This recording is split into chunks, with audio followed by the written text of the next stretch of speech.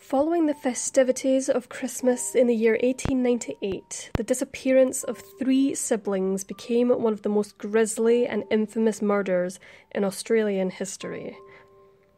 Tonight on Dark Curiosities, the Gatton tragedy. Nearing the turn of the century, Gatton was an ever growing village located in the southeast of Queensland, Australia state capital Brisbane lying to the east and Toowoomba to the west. It was a pleasant and peaceful settlement of almost 500 and quite a young town. Blackfellows Creek lay eight miles from Gatton and was where the Murphy family farm was located. Daniel and Mary Murphy were parents to ten children, Daniel, Michael, John, Jeremy, Patrick, William, Polly, Nora, Catherine, and Teresa, who is also known as Ellen. Daniel Jr. and Michael had already left home, Michael working at a government experimental farm in Westbrook, and Daniel secured work as a police constable in Brisbane. On the 26th of December, Michael returned to the farm for his Christmas holidays. Later in the same day, Michael borrowed a one horse sulky cart from his brother in law, William McNeil, to transport his sisters, 27 year old Nora and 19 year old Ellen. The trio were set to attend a dance which was being held at the Division Board Hall in Gatton. However, during the outward journey, Michael received word that the dance had been cancelled. He turned the sulky back around and the siblings began their way home. The next morning, the Murphys awoke to discover that Michael, Nora, and Ellen had not returned to the creek. Mary Murphy asked her son in law, William, to go and search for her missing children. William rode out upon his horse, eager to trace them. The sulky that had belonged to him, that he had given to the siblings, had a wobbly wheel, which left a distinctive track along the Tent Hill Road on the way to Gatton. He noticed that the tracks veered off into a wooded pasture. However, William initially didn't find anything suspicious. Whilst riding further into a winding trail of scrubland, William finally saw a glimpse of the Murphy siblings. He saw the trio on the ground ahead, and he assumed that they were innocently sleeping. As he approached, the truth became devastatingly clear. In a stomach turning twist, William witnessed ants crawling over the corpses of Ellen, Nora, and Michael. At first, it appeared that they had all been bludgeoned to death. However, on further inspection, this did not seem to be the case. The crime scene was peculiar and harrowing.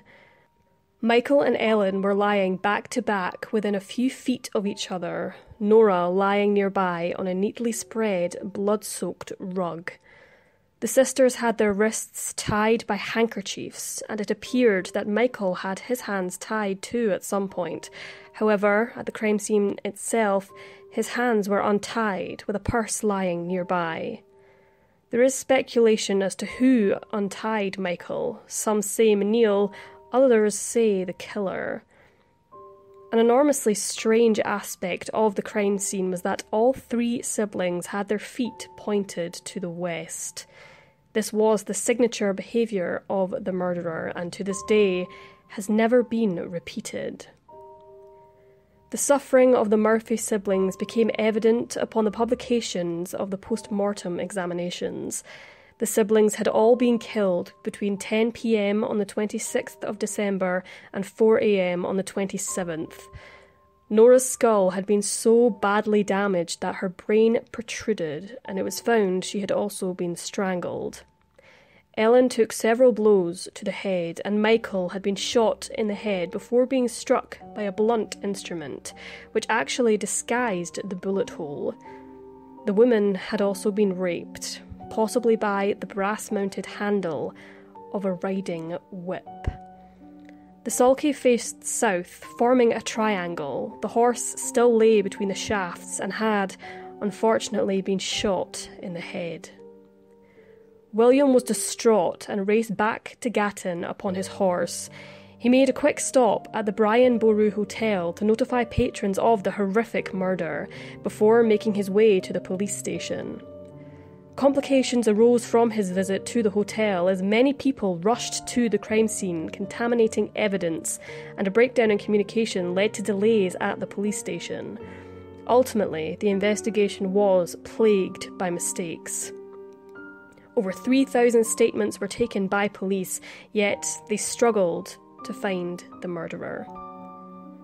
There were whispers of disputes and incest among the family and other workers, claims which were never resolved. Many sleuths suspected a butcher who was seen lurking in the area on the night of the murders. The man was known as Theo Farmer, Thomas Ferner, and Thomas Day. A few weeks prior to the Murphy murders, a 15 year old boy named Alfred Stephen Hill was killed nearby in Oxley. His pony was also shot in the same manner as the Murphys. In 1900, Thomas Day, using the alias Thomas Ferner, was admitted to Sydney Hospital where he took his own life by a self inflicted bullet wound. Most intriguingly, Day had, according to rumour, left behind a suicide note, claiming he was indeed present at the crime scene and witnessed the murders of Michael, Nora, and Ellen, and that he had recurring nightmares of seeing their heads being repeatedly bashed in. It is not known whether Thomas was solely responsible for their deaths, or if he was purely a witness, or quite possibly an accomplice to whoever stole the innocent lives of the Murphy siblings. Police, however, had no evidence to back this up. The slayings of Michael, Nora, and Ellen Murphy left a huge hole in the hearts of the Murphy family and the small, tight knit community surrounding them. One night changed their lives forever, and the party or parties responsible were never identified or brought to justice. Over a century later, many unanswered questions remain, and the mysterious and spine chilling case remains one of Australia's most haunting unsolved crimes.